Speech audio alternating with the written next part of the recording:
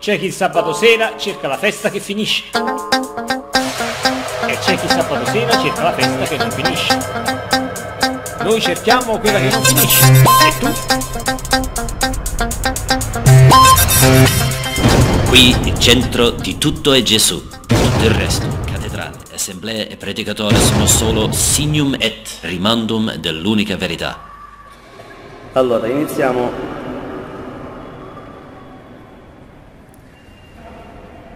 con il riprendere quello che abbiamo detto l'ultima volta. La Santa Comunione, essendo che è un precetto della Chiesa, bisogna almeno farla una volta l'anno.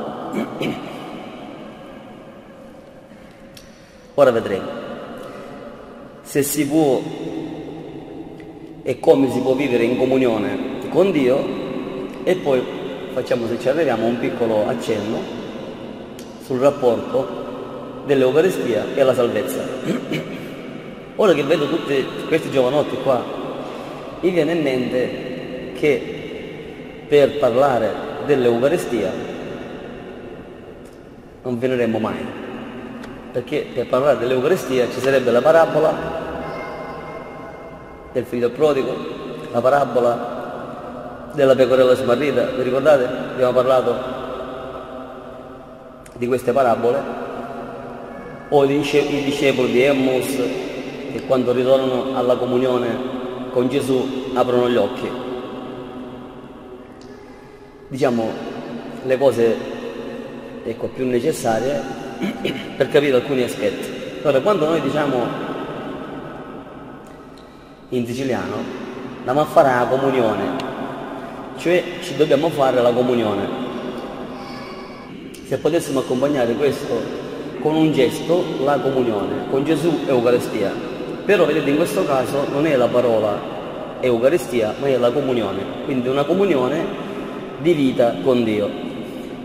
Qualcuno ci potrebbe dire che questo termine comunione se l'ha inventato la Chiesa, ma la Chiesa non inventa nulla se non tutto ciò che prende dalle sacre scritture.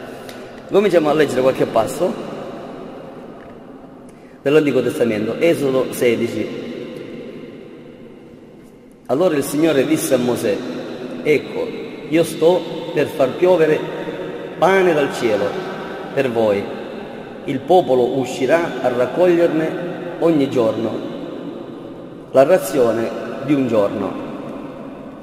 Allora, riprendiamo il titolo. Prima quante volte bisogna fare la comunione all'anno? Secondo il progetto una volta all'anno abbiamo letto ogni giorno andrà a raccogliere la razione di questa manna che scendeva dal cielo, questo pane. Ecco, io sto per far piovere pane dal cielo. Il popolo uscirà a raccoglierne ogni giorno la razione per un giorno.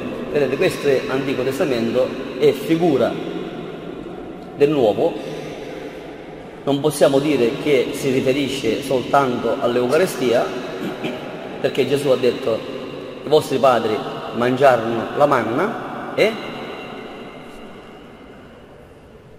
morirono. Invece Gesù dice io sono il pane vivo disceso dal cielo, chi mangia di questo pane vivrà in eterno. Allora per questo si dice che figura tutto ciò che nell'Antico Testamento era detto, per la maggior parte delle volte raffigurava quello che poi si deve avverare con Gesù. Però quello che interessava a me è che qui si dice ogni giorno che raccoglievano questa razione di pane. Andiamo subito al Nuovo Testamento. Cosa diciamo noi nel Padre nostro?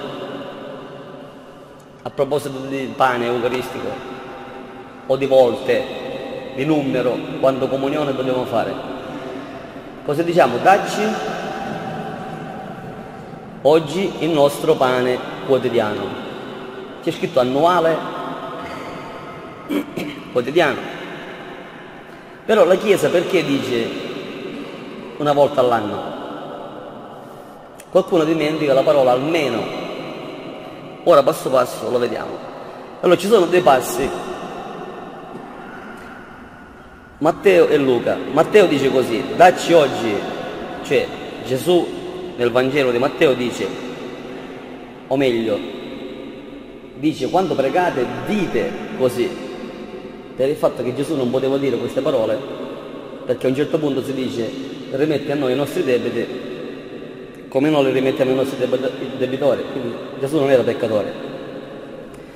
E quindi siamo noi che diciamo questa preghiera che Gesù ci ha insegnato. Dacci oggi il nostro pane quotidiano. Vabbè, ma in Luca mette a sottolineatura, dice dacci ogni giorno, dacci ogni giorno il nostro pane quotidiano. Fa Giuseppe che è biblista, vedete, in spagnolo si dice la cavezza, cioè la testa tanta, quindi là ci vanno un sacco di informazioni. I biblisti sono temuti perché sanno tutto nella Bibbia, no? allora già lui faceva così. E loro fanno molta attenzione alla scrittura perché quando io ho bisogno di un'informazione scientifica molto più approfondita, allora gli dico come è scritto in greco, questa cosa funziona, siamo sicuri? E funziona. Allora poi c'è un altro passo di Atti degli Apostoli che dice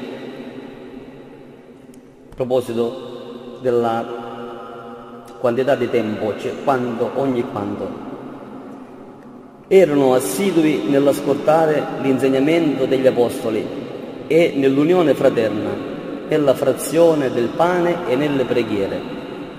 Ogni giorno, ogni giorno, tutti insieme frequentavano il Tempio e spezzavano il pane a casa prendendo i pasti con letizia e semplicità di cuore. Quindi qui dice ogni, ogni giorno tutti insieme frequentavano il Tempio, spezzando il pane a casa. Quindi ogni giorno frequentavano il Tempio, però spezzavano il pane a casa. Quindi qui, qui fa la differenza, poi San Paolo lo spiegherà ancora più dettagliatamente, che c'è distinzione tra il pane che si mangia a casa è quello che si mangia quando ci si aduna, raduna, ecclesia, sta, si sta insieme per segno di comunione. E quindi comunque richiama l'insegnamento ogni giorno al Tempio, per dire che in questa vita, voi a scuola quando ci andate? Una volta la domenica? Quando ci andate a scuola? Tutti i giorni, tranne la domenica, no? E se non ci andate la mamma vi fa la testa? Come a Fra Giuseppe, così, giusto? perché dobbiamo imparare come si fa a maturare nella vita. Così Dio, attraverso la Chiesa e la Madonna, ci fa la testa tanta, come Fra Giuseppe, come a Fra Del Mario, che studia anche lui a Roma, forse saranno quelli che studiano a Roma. Io anche ho studiato, ma io sono un caso eccezionale. Lì a Roma c'era la testa più piccolina. Quindi l'intenzione di Maria che ci vuole portare a Gesù è quella di insegnarci come cibarci di Gesù che è la nostra vita eterna. Però già una volta la domenica uno qualcosa la ricorda. A tempo di guerra non so se si mangiava una volta alla settimana, insomma, si andrebbe molto male una volta alla settimana, comunque. Però meglio di niente. Ma qui tutto quello che io leggo sottolinea dall'Antico Testamento, dal Nuovo Testamento, i padri della Chiesa, i padri medievali, i moderni e i postmoderni, cioè attuale, anche il Magistero, tutti i giorni. Beh, io non voglio bastonare nessuno perché prima dovrebbe bastonare me, quando uno tutti i giorni non riesce ad andarci. Noi abbiamo l'obbligo tutti i giorni, però se a volte capita che tu non riesci, insomma Dio non è col bazooka che ti ammazza. Vediamo che diceva San Francesco d'Assisi, quello là che aveva le stigmate. Oggi è San Francesco di Paola, 2 aprile, però San Francesco di Paola è stato uno innamorato di San Francesco d'Assisi, che a sua volta questo era innamorato di Gesù, nel senso spirituale.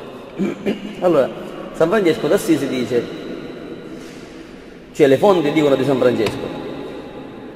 Francesco ardeva d'amore per la Santa Eucaristia ritenendo grave disprezzo non parteciparvi ogni giorno. Cioè, avete capito o forse si sente male o io non mi sono spiegato bene?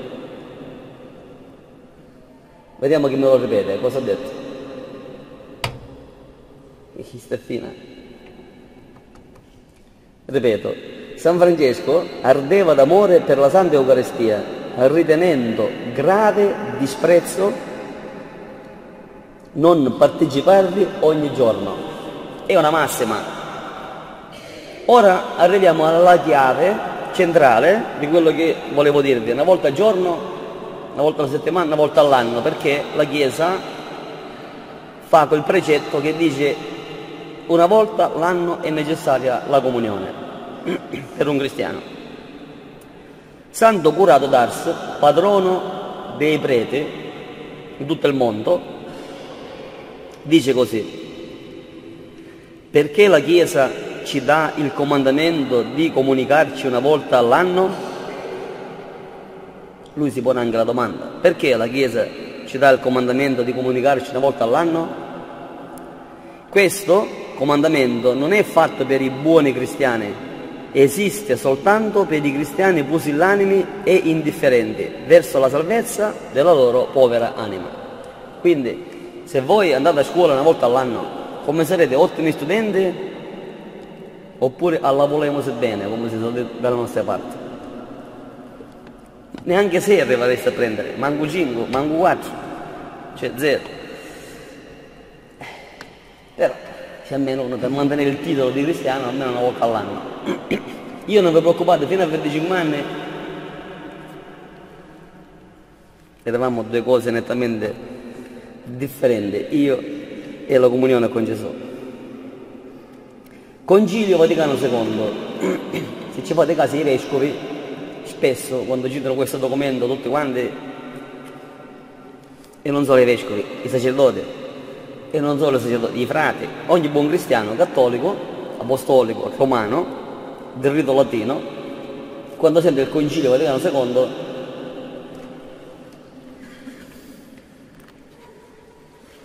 Dice così il Concilio. Il Sacro Concilio esorta caldamente i pastori d'anime a istruire con cura i fedeli della catechesi, al, nella catechesi. Faccio una piccola parentesi, stasera mi hanno chiamato, cioè guarda ti faccio sentire il tuo vescovo che sta parlando in tv, forse perché oggi ha ordinato Staglianò, Monsignor Staglianò, ha ordinato a Crotone un altro vescovo, è stato qua anche a celebrare, io gli ho fatto il diacono. E mentre che, guarda che te lo faccio sentire il vescovo, io sentivo nel telefono, sentivo lui che parlava in tv e diceva insegnare, insegnare, insegnare, noi dobbiamo insegnare, i pastori devono insegnare, insegnare. Questo insegna, nel senso, oggi, come abbiamo fatto la fogna oggi, quindi ero concentrato a, a, fare lì al convento e stoppare la pugnatura, insomma, che siamo rimasti a piedi. E quindi mi ero ripassato poco la catechesi, allora quando ho sentito il vescovo che diceva per tv insegnare, insegnare, mi passavo tutto la stanchezza, ho preso la cosa e mi sono ripassato un po' tutto. Già li sapevo, però oggi le voglio dire bene perché questa cosa ci deve entrare in testa. Allora, perciò il Sacro Concilio esorta caldamente i pastori d'anime ad istruire con cura i fedeli nella catechesi. Per questo Staglianò il vescovo e quindi la Chiesa di Noto vuole che noi facciamo ogni primo sabato del mese la catechesi per istruire i fedeli perché partecipino a tutta la messa, specialmente la domenica. Quindi tut- tutta la catechesi deve essere per fargli capire che devono partecipare tutta, tutti, tutta, tutta l'assemblea a messa, specialmente la domenica e le feste di precetto. Poi siccome c'era una volta un professore, sapete, a volte anche i professori, come anche i frati, possono essere distratti, e mi diceva, vabbè, venite a messa, questo canonista di quelle, però non c'è bisogno di fare la comunione. Questo professore, ma c'è il concilio che dice questo? No, no, no, no, no, no non l'ho sentito mai questa cosa, ma io l'ho letto. No, no, no, no, no, no, no. Guardate cosa dice il concilio. La domenica, infatti, i fedeli devono, non è eventualmente, devono, è imperativo, se vogliono essere cristiani, altrimenti sono liberi di non farlo, però se vogliono aderire agli insegnamenti di Gesù che dice chi ascolta la Chiesa ascolta me, chi non l'ascolta non mi ascolta, allora la domenica infatti i fedeli, dice il Concilio Vaticano II, nella Sacrosantum Concilium numero 106, devono riunirsi in assemblea per ascoltare la parola di Dio e partecipare all'Eucarestia. Quindi non solo, non solo ascoltare la parola di Dio a messa, ma devono partecipare all'Eucarestia. Ma oh, qui ci salviamo, ha detto un pochettino una volta alla settimana almeno, così tutti i giorni è un pochettino. Ma continua il catechismo della Chiesa Cattolica che è figlio del Concilio Vaticano II. Dice così, la Chiesa raccomanda vivamente, vedete là diceva raccomanda caldamente, siccome il, il catechismo della Chiesa Cattolica, vi ricordate il mattone così, era un libro tanto, è figlio del concilio, dice così, la Chiesa raccomanda vivamente ai fedeli di ricevere la Santa Eucaristia la domenica e i giorni festivi, o ancora più spesso anche tutti i giorni. Per essere un buon cristiano noi parliamo di cristiani cattolici perché poi ci sono i cristiani cattolici indipendenti, cristiani cattolici romani, noi. Poi ci sono cristiani cattolici indipendenti, cristiani cattolici ecumenici, cristiani cattolici, insomma, ognuno oggi si inventa quello che vuole e, eh, poi i vescovi sparano e poi dicono che sono eh, e che non sono così. E quindi per essere sicuri, facciamo una piccola parentesi che già conosciamo, l'Eucaristia che noi dobbiamo prendere diceva Giovanni Paolo II, citando le parole di Sant'Ignazio, devono cibarsi di quell'Eucaristia che viene amministrata sotto i vescovi e coloro che sono delegati, cioè i sacerdoti. E però non solo, perché tanti hanno i sacerdoti e i vescovi, tante chiese separate, però per essere più sicuri dice parimenti sotto il pontefice romano, sotto il Papa.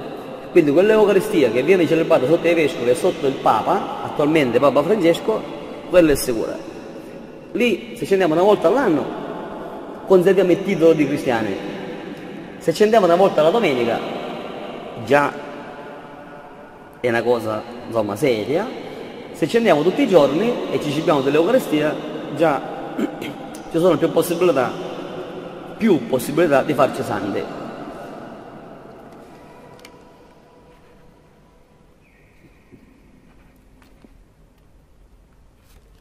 Qual è il comandamento che ci dice di ricordarci le feste? Vi ricordate?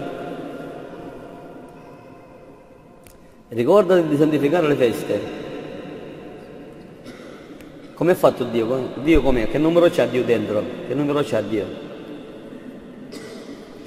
Tre. Quindi, terzo comandamento, che è l'unico che dice ricordati, cioè non tu scordare cioè non te lo scordare, non toglierlo dalla corda, appendilo qua da qualche parte, di santificare le feste. Perché se noi non li santifichiamo e pensiamo sempre ai nostri affari, le cose che noi abbiamo imparato passo passo ce le scordiamo, cioè ci, si rompono le corde e cadono. E accade preciso uguale quando uno fa l'esame da 30 e lode, si prepara, tutta la notte studia, poi magari la mattina vomita perché ha studiato tutta la notte, non ce la fa, però le cose le sa, poi arriva là, il professore domanda, tu ti ricordi tutto a memoria, pa, pa, pa, poi finisce l'esame, ti dimentichi tutto. Dopo vent'anni, anche se uno è laureato, non capisci una mazza del suo titolo. E così per i cristiani, se non ripassano con la preghiera e non vengono a messa e non si cibano spesso della Santa Comunione, dove prima di arrivare alla comunione c'è la parola di Dio, che viene prima dell'Eucaristia, perché questo è il mio corpo e dopo dipende dal corpo di Cristo. Senza parola non c'è Eucaristia. Certo, solo con la parola sarebbe solo una carta e non è la vita, quindi vanno insieme. Se per esempio prendiamo una macchina, ok? Viaggiamo con la macchina, con la mamma, con il papà, con lo zio, con il cuginetto, con la... Eh, con chi c'è la macchina, ok? E a un certo punto dobbiamo andare a Milano anzi in Germania, ancora più, più lontano. E con la macchina mi fermo una volta all'anno. Che succede? Non ci arrivo in Germania. Cioè, appena si finisce mi devo fermare, appena si finisce mi devo fermare. Quindi così quando noi mangiamo, quando finisce l'effetto dei carboidrati, almeno i carboidrati, che sono del pane, le patate, eccetera, questi qua mi servono per avere l'energia per andare avanti. Quindi la comunione ci serve come cibo perché noi possiamo essere più forti. Oppure, mettiamo in caso che c'è un bambino che sta annegando, che è nel mare, che nuota, che aiuto, aiuto, aiuto, aiuto, aiuto, aiuto, e noi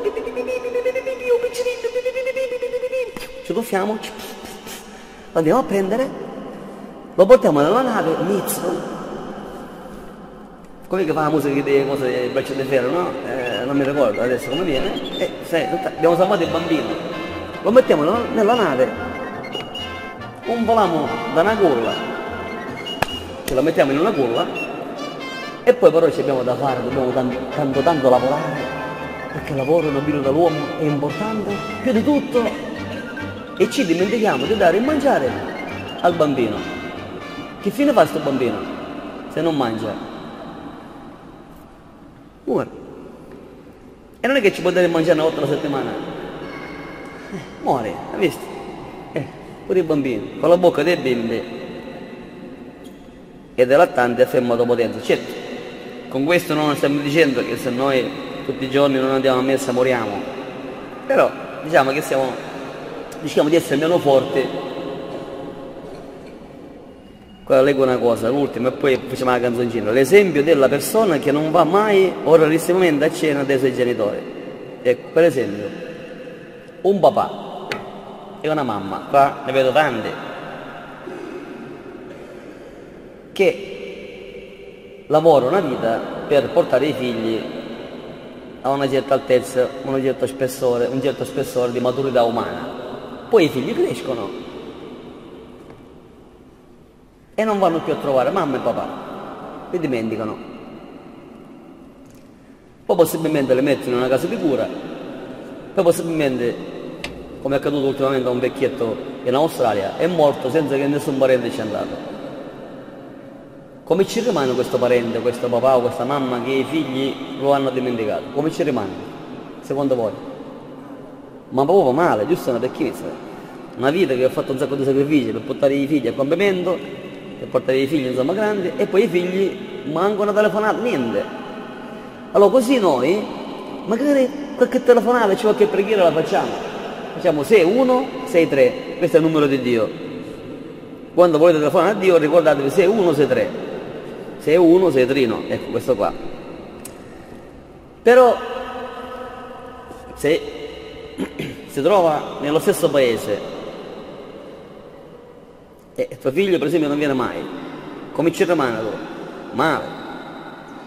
Così domina Dio, così il Signore ci rimane male quando i suoi figli non ci vanno a trovarlo almeno una volta a settimana. Ci rimane male. Possibilmente tutta la vita viviamo, come io stavo facendo fino a 25 anni, la casa del padre ci andavo solo per cercare le ragazze. Vedete come ero combinato. Invece ho, ho capito che ci devo andare per cercare la vita eterna e la felicità eterna e dare gioia a Dio e anche pace al mio cuore. Quindi quando noi oppure sento qualcuno, mamma mia, mio figlio non viene mai a trovarmi nei passaggi, negli autostop. Mio figlio non viene mai a trovarmi. Tu disgraziato, si è dimenticato del padre. Subito io, che non lo conosco, ma lo, non l'ho mai visto, mi viene in mente subito una domanda. Scusa, ma lei ci va a messa la domenica? Almeno. No, perché io ho tante cose da fare, eccetera. Ma tu come ci rimane che tuo figlio non ti viene mai a trovare? Male, ma proprio, ma sto male. E così Dio sta permettendo questo per farti capire, se tu stai male, fu pure tuo paterno quando stava male perché tu l'hai abbandonato. Perché quello sta male significa che se tu non ci vai rischi di perdere tutto. Sapete quante persone ho visto ritornare in chiesa per questo esempio? Questo è un esempio che io non sto facendo la catechesi a voi.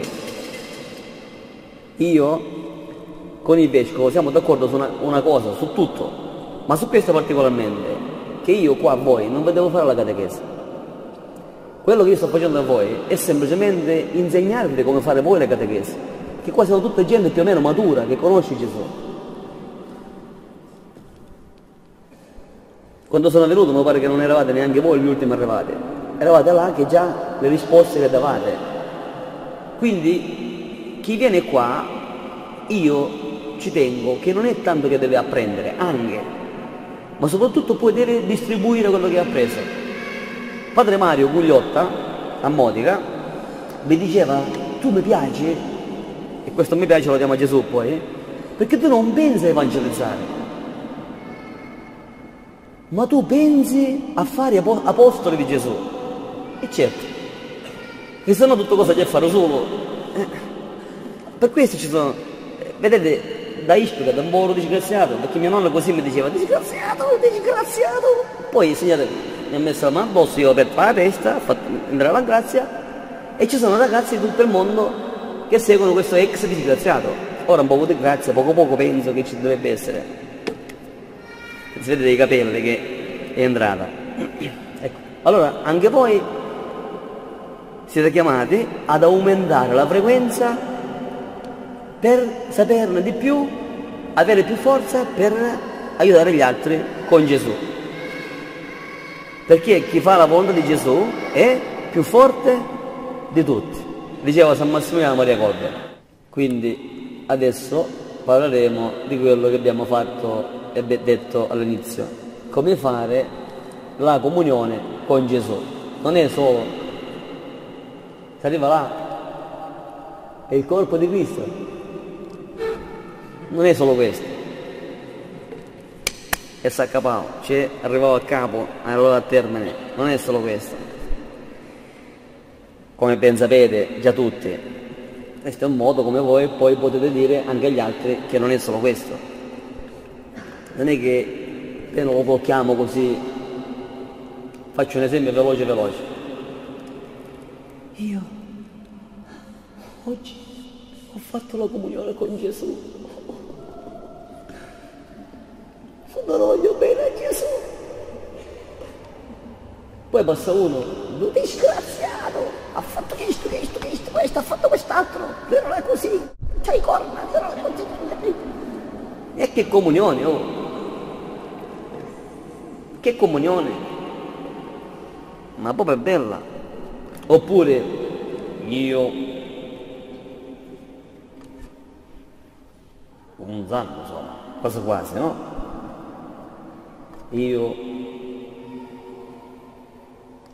vado sempre a messa, io, io, io, io, io, poi esce tutto parola di Dio, comunione, confessione, tre rose al giorno, uno lo fa arrabbiare e gli do un sole piatte. Proprio uscito dalla messa, fresco fresco. E possibilmente la sera prima qualche frate gli aveva detto, mi raccomando, Gesù sta in croce. Non è che se qualcuno ti dà un geffone tu che fai? Stai in croce? Oppure scendo dalla croce e gli fai solo piatte? Stai in croce. E perché dobbiamo stare in croce? Cioè perché dobbiamo stare in comunione con Gesù in croce? Perché dobbiamo stare in comunione di vita con Gesù in croce? Chi me la fa fare? Non ci dare una vistata o un boffo come si dice a Palermo oppure a Marsala? Perché non lo faccio? Perché voglio risuscitare. Perché voglio risuscitare dalla cassa da morto come Gesù. Per questo non ci faccio solo le piatte. Ecco, allora la comunione di vita ci costa però il premio è così grande che dobbiamo riuscire anche a porgere l'altra guancia morale, morale, spirituale, fisica. Se no rischiamo di essere come quelli dell'ISIS. Allora, che poi quelli dell'ISIS non sono completamente in comunione col Corano, perché nel Corano c'è scritto che se tu ammazzi una sola persona, una, una, che non va contro Allah, che non va contro il profeta e che non sparge corruzione sulla terra, se tu ne ammazzi una, ammazzi il mondo intero. Ora, questi qua che ammazzano i cristiani, specialmente quelli che si vogliono fare santi, perché uno che non scappa da lì e gli puntano la pistola vuol dire che ci crede, allora questi stanno ammazzando il mondo intero, infatti si sta allargando. E poi c'è messo nel Corano che se tu salvi un, una persona o un bambino, o una bambina, una, che, no, che non va contro Dio, che non va contro il profeta e che non sparge corruzione sulla terra, tu salvi il mondo intero. Io ci ho fatto il video su questa cosa, testo fronte arabo e italiano, gliel'ho messo su internet, più da ammazzare non mi possono. Ma la verità qualcuno gliela deve dire a questi qua, perché sono ingannati dal demonio, perché uno che si fa saltare in aria significa che non ha capito niente del Corano. Poi c'è scritto nel Corano pure che Gesù dice che fino a quando voi, gente del libro, non obbederete al Vangelo, al Vangelo, quello dei cristiani, Gesù dice nel Corano, fino a quando non, non credete al Vangelo, siete sul nulla. Non credete, obbederete fino a tanto che non obbederete al, Corano, al Vangelo, siete sul nulla. Gesù lo dice nel Corano e ce n'è tanti altri passi nel Corano. Allora, vedete, anche nelle altre religioni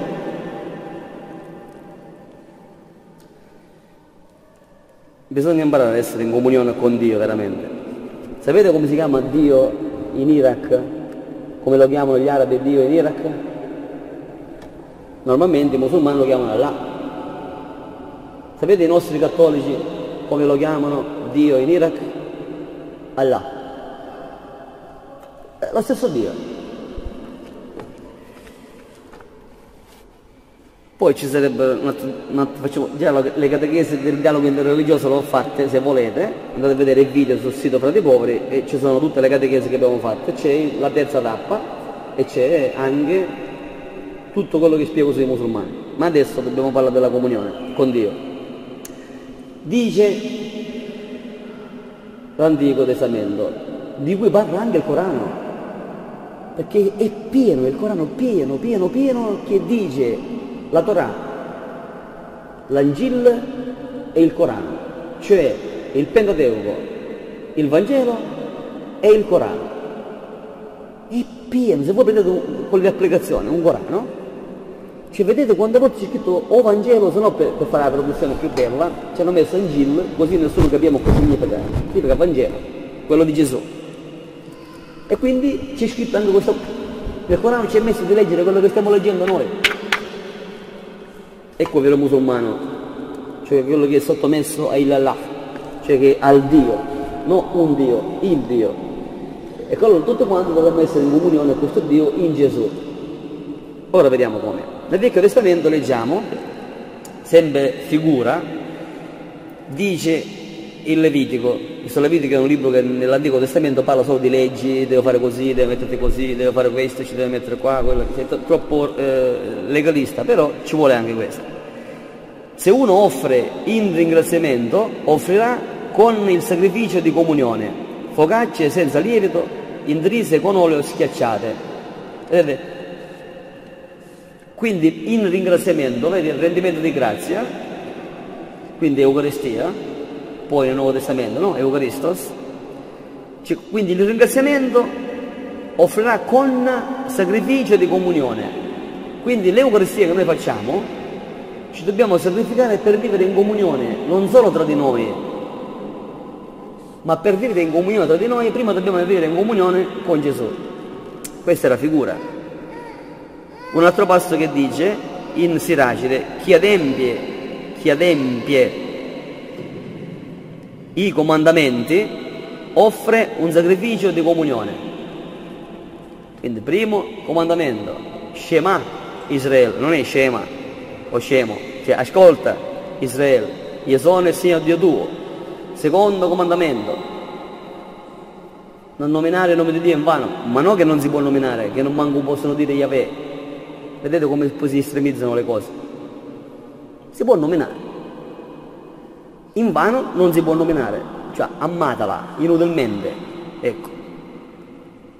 Quindi chi ade- eccetera, i comandamenti. Quindi chi, chi si sforza di vivere i comandamenti, che sono dieci, semplici semplici, offre un sacrificio di comunione. È un sacrificio, vivere i comandamenti è un sacrificio di comunione. Quindi se vogliamo stare in comunione con Gesù, potete dire nelle catechesi che farete, dobbiamo osservare i comandamenti, specialmente il terzo, ricordati di santificare le feste, poi non dire bugie e così via.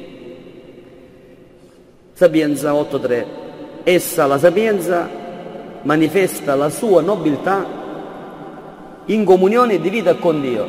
Vedete, allora la sapienza manifesta la sua nobiltà, la sua bellezza, il suo splendore, perché è in comunione di vita con Dio e ci dice a noi che dobbiamo essere in comunione di vita con Dio, perché il Signore dell'universo l'ha amata. Mosè parla sacrifici di comunione, la mangerai e ti rallegrerai. Sembra un passo così che l'abbiamo letto, che significa? Se tu fai la comunione, che la mangi non solo sacramentalmente, ma mangi, mastichi, non posso prendere schiaffo a quello, eh? eccetera, allora ci hai messo qui ti rallegrerai. A me una volta mi è capitato, ero a Ispica, o parlo all'inizio, poi parlo all'inizio, vent'anni fa, Giovanni, gli faccio un amico mio, a Monin che qua non è aria, cioè andiamo che qui non è aria, no ma stiamo che dobbiamo evangelizzare, sì, vabbè perché dobbiamo evangelizzare, però vedi il quadro non è maturo, stasera sono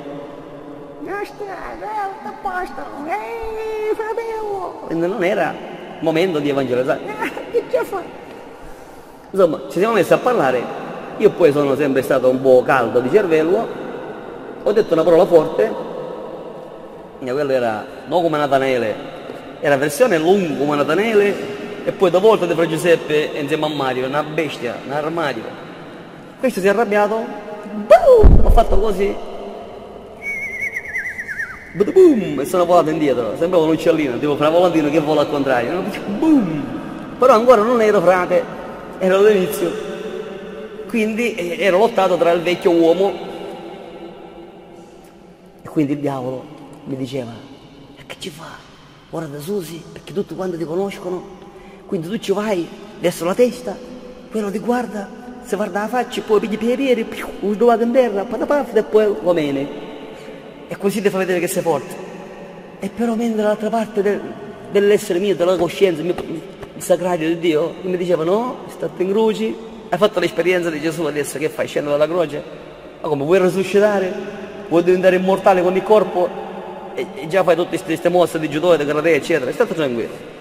Allora ero così, guarda, ero lottato, perché non a me, al mio paese, mi ha fatto fare una brutta figura, mi ha fatto volare a me. Io, io, io ci mancava a Dio, così facevo Dio. Ecco, capito?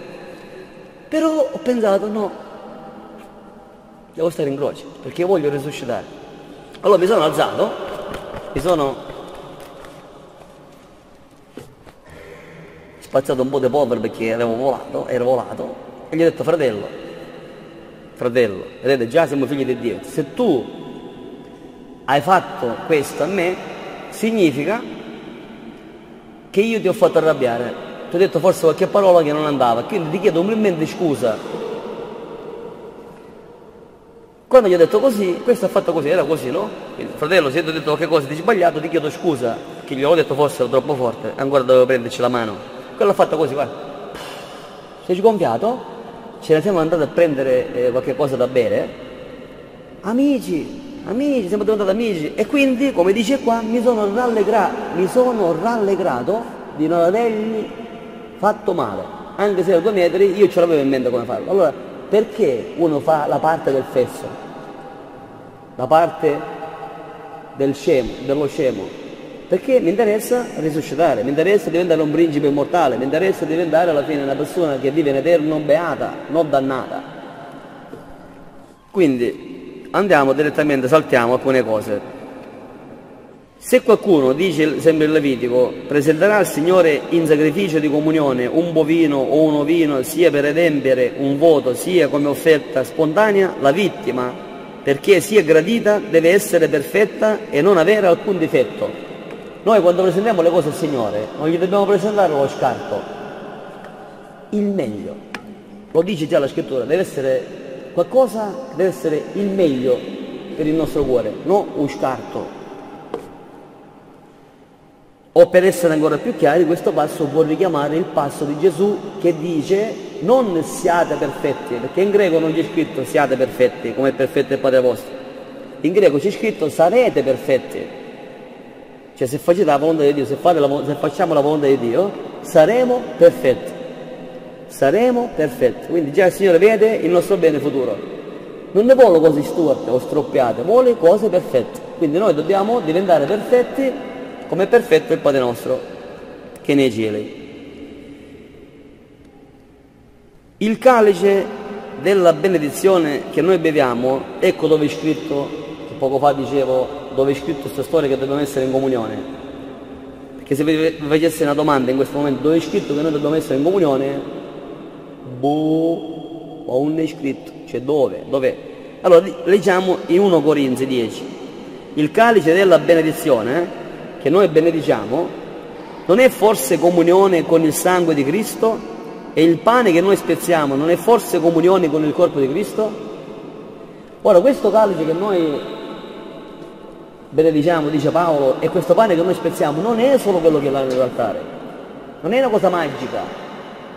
Questo calice che io bevo, quando do la comunione e poi specialmente da diacono adesso, alla fine a volte sono pieni, quindi devo stare pure attento, quando ecco, bevo il calice del sangue di Gesù, ma io ci penso, non è solo questo che devo bere, devo mandare giù quando una cosa non mi piace, quando una cosa non mi piace, però so che se la mando giù porta frutto, non perché sono babbo e mi mangio tutto, tutte cose.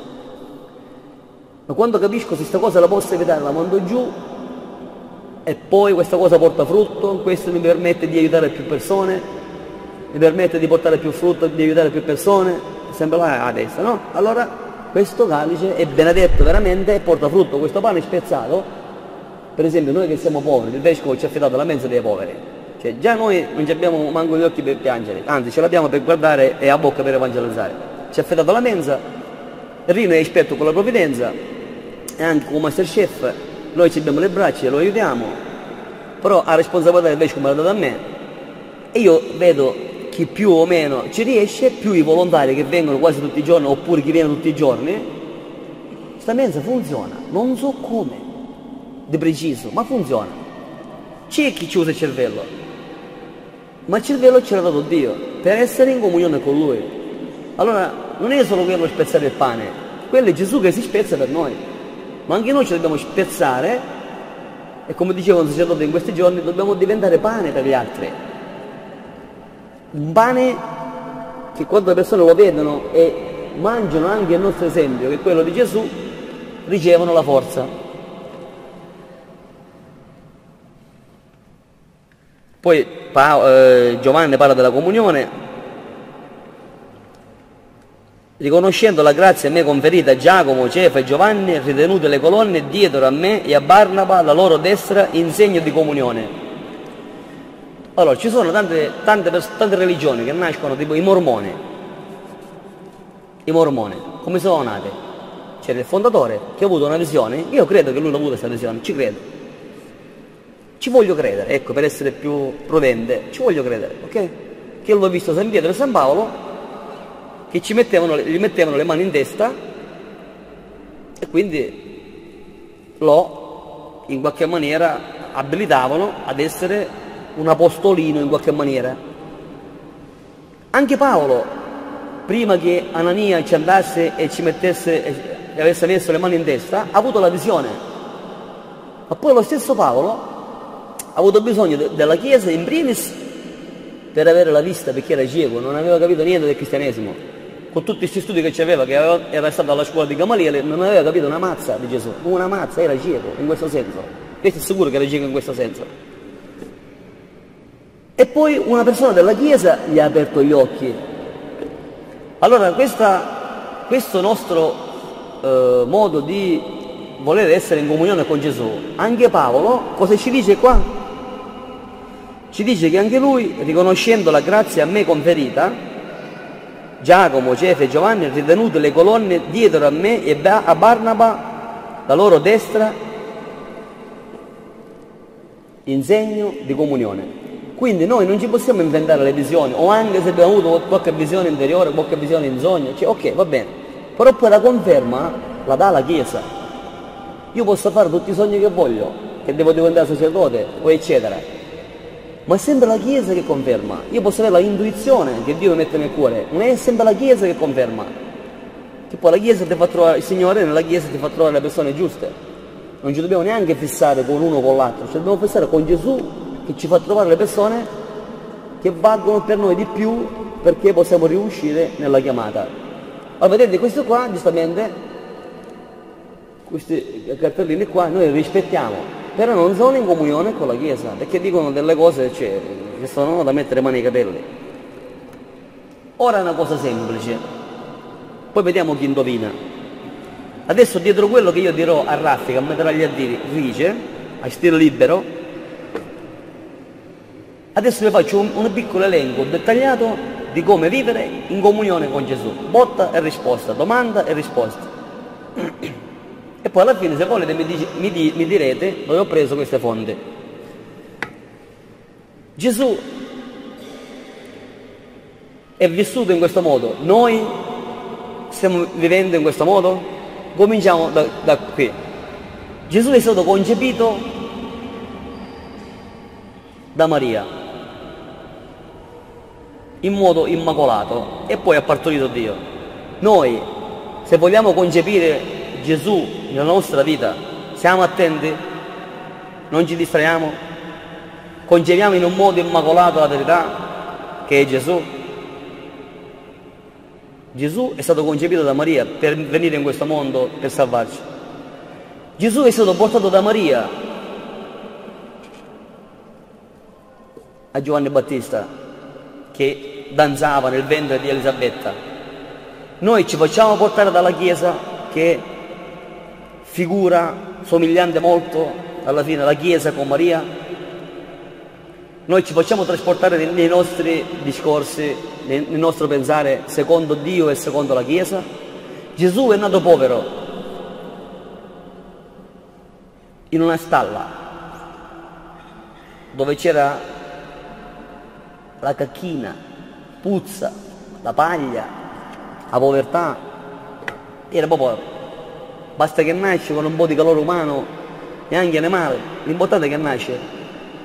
È nato in una stalla, noi siamo, stac- siamo rinati a vita nuova da veri cristiani staccati dalle cose materiali.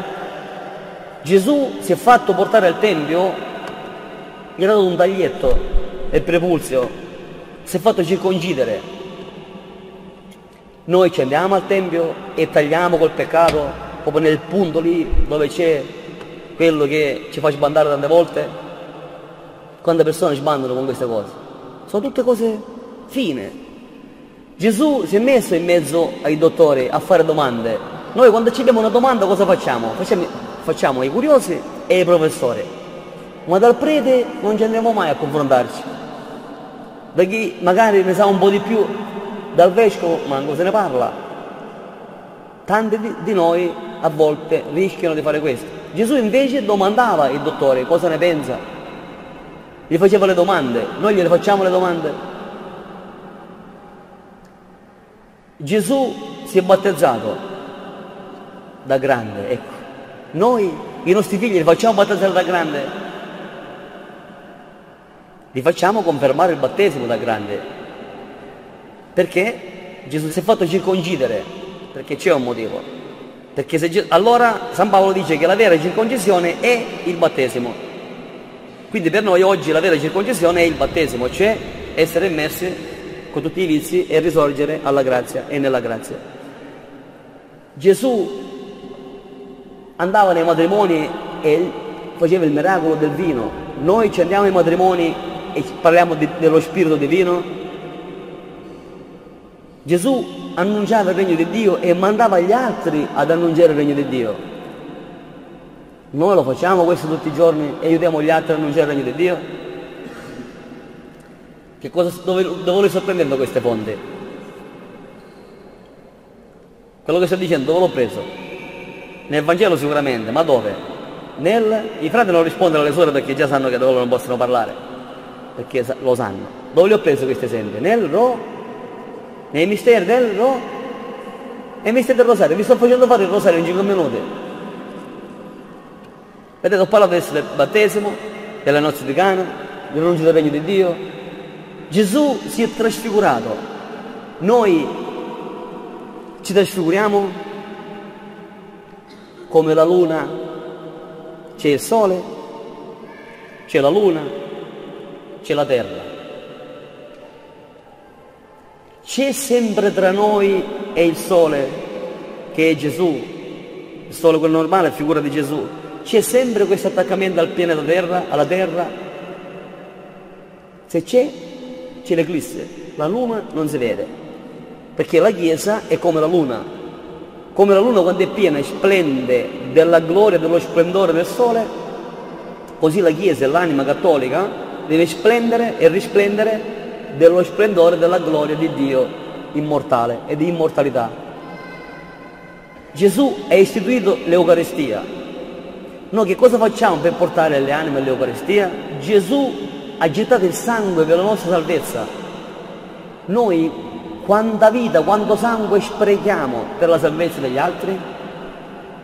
Gesù quasi se l'ha fatta sotto, sudava sangue chi aveva capito che lo potevano ammazzare, però ha detto fiat, voluntas tua, sia fatta la tua volontà e non la mia, e un angelo l'ha consolato. Noi lo diciamo sì quando riusciamo a capire qual è la volontà di Dio, che poi non è così difficile. Gesù è stato flagellato alla colonna, se l'è piantata, era lì. Noi riusciamo a sopportare quando gli altri ci flagellano alle spalle? Invece siamo noi quelli che flagelliamo gli altri? Gesù portava la croce, che è fatta di due tavole della legge. Noi nel telefonino ce la mettiamo la Bibbia, perché le due tavole della croce ci richiamano le due tavole della legge. La tavola della legge antica, la tavola della legge nuova, cioè la Bibbia, la rivelazione pubblica, Antico e Nuovo Testamento. Chi mi ama prenda la sua croce, rinnega ogni giorno se stesso e mi segua. Chi mi ama, cioè chi mi vuol servire ogni giorno, rinnega se stesso, non dorma, sveglia, ecco, prenda la sua croce e mi segua. Noi la prendiamo la nostra croce, cioè la nostra Bibbia. Capito? Quando Gesù dice chi mi ama prende la sua croce, prima di tutto è chi prende la Bibbia, la leggiamo la Bibbia tutti i giorni. Ce l'abbiamo la Bibbia addosso, non dico come noi, ma un telefonino ce l'abbiamo quasi tutti questi telefonini. Uno, è un'applicazione, la mettete e ci mette la Bibbia, col cercaparole pure. Gesù è morto in croce, noi ce l'abbiamo il chiodo fisso per morire in croce, per risuscitare. Gesù è risorto, noi risuscitiamo almeno una volta alla settimana con la confessione, da morti che eravamo per i peccati, siamo ritornati alla vita. Gesù è asceso al cielo. Noi cerchiamo di scendere al cielo facendo tante opere buone, come diceva San Benedetto di Norcia, più opere facciamo, più saliamo e ci avviciniamo al cielo. Gesù ha mandato lo Spirito Santo nel piano superiore per la preghiera degli Apostoli, noi cosa facciamo? Soffiamo, diciamo sciocchezze o diciamo le parole di Gesù che sono spirito e vita? State facendo il rosario, sto facendo il rosario, vedete come facendo la sintesi, ma il rosario ci serve per farci ricordare come imitare Gesù.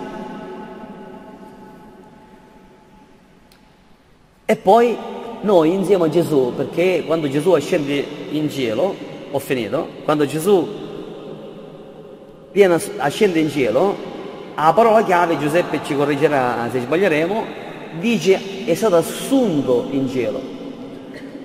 Gesù è stato assunto in cielo, quindi Maria viene assunta in cielo, a immagine di Gesù.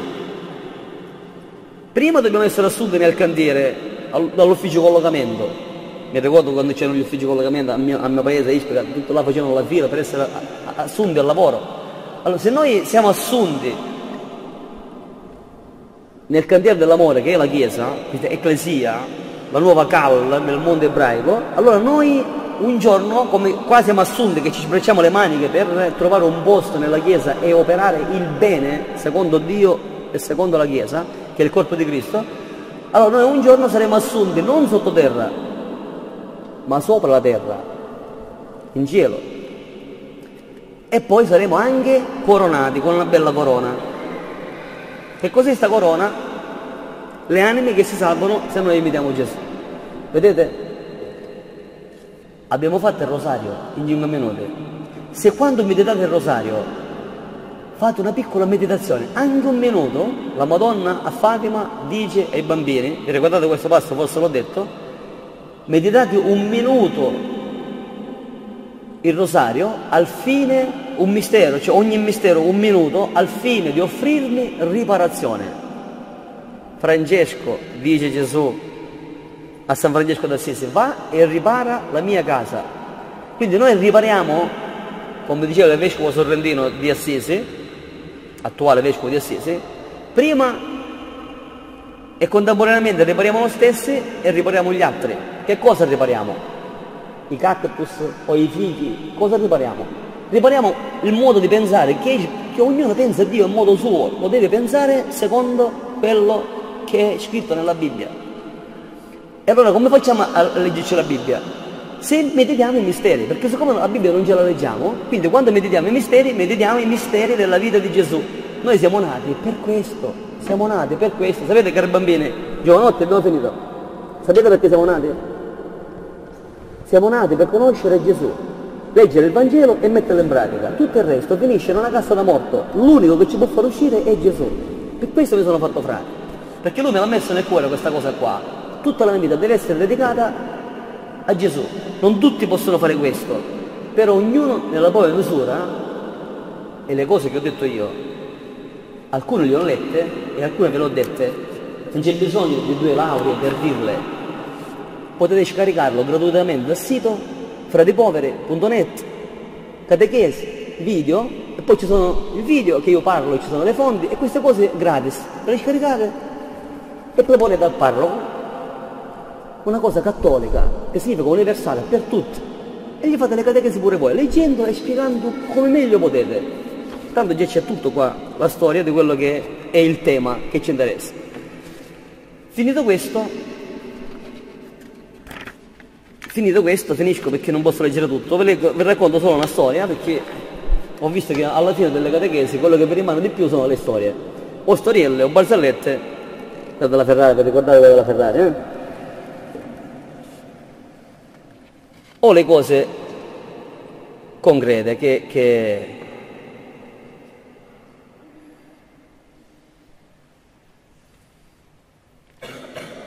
per essere in comunione con Gesù. Una volta mi trovavo a Catania, in una parrocchia del Lebrino, quindi brutta parrocchia, cioè brutta non una parrocchia, l'ambiente che si respirava. Qualcuno mi ha fatto arrabbiare, era all'inizio del mio cammino, già ero vestito da frate, come si dice in siciliano, mi fecero scattiare. Mia, allora sì, io che già non ci vuole assai per scattiare, allora sono andato davanti al Santissimo, vedete, mi vedete, sempre tranquillo, sereno, però ogni tanto mi pigliano pure a me. Allora, mentre ero nervoso cosa ho fatto? Mi sono ricordato, mi vado a mettere in ginocchio davanti a Gesù così gli dico un po' di pace perché tu immagini il frate che sembra così, arriva, uh, così è brutto, no? Allora sono andato davanti al Santissimo, sapete mi sono inginocchiato, cosa è successo? Una cosa ordinaria, normale. Mi sono inginocchiato, gli occhi mi sono caduti sullo sportello del, cioè del, del tabernacolo e c'era l'agnello immolato, ma così bello, così mansueto. Subito ho capito il messaggio. State avanza, cioè, stai tranquillo, come l'agnello. Se vuoi risuscitare devi imitare anche qui l'agnello, state tranquillo. Ecco, allora possiamo dire le cose con fermezza, con come dice il vescovo quando sta per arrabbiarsi, io non mi arrabbio, sono, diciamo mi sono fatto prendere dalla passione, ecco.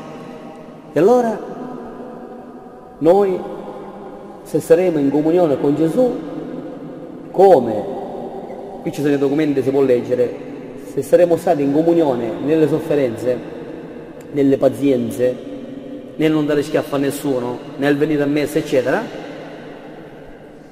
allora un giorno saremo in comunione con Gesù risorto. Quando noi diciamo risuscitò, risuscitò, ora la cantiamo questa qua, risuscitò, alleluia, cioè risuscitò significa anistemi, come dice Giuseppe, io mi alzo, ma da dove? Dai fichi, mi alzo dalla morte, dalla casa da morto, anche quando c'è solo uno scheletro, mi alzo, mi alzerò con la carne, bello per sempre, giovane, immortale, non muoio più, non ho più paura della morte, per sempre, sempre, se uno ci pensa. Per questo ci conviene amare Gesù come Pietro.